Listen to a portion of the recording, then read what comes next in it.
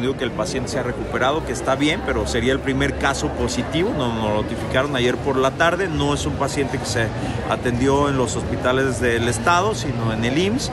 Y los detalles seguramente los tendrá el IMSS, ¿no? Pero ya tenemos un primer caso en el estado de Guanajuato y como yo me he comprometido a ser muy transparente y a no ocultar información de ningún sentido, decirles. Eh, la buena noticia es que creo que afortunadamente el menor está bien, es un menor de 5 años y se ha recuperado, pero sería, sería el primer caso que tenemos. Seguimos haciendo vigilancia epidemiológica justamente para ver que la falta de vacunas no haga que tengamos eh, brotes de otros padecimientos como el de la viruela, por ejemplo, que también es en función a que ya es una generación que no tiene vacuna de viruela de 1980 para acá. Entonces, para eso nos sirve la vigilancia epidemiológica, para ello nos sirve el tener vacunas, para ello es importantísimo que todas las generaciones estén recibiendo su esquema de vacunación.